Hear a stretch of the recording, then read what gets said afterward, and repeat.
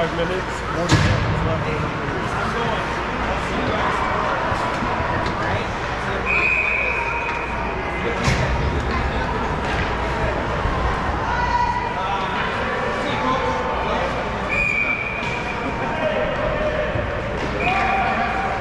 We'll play some more stable footage after.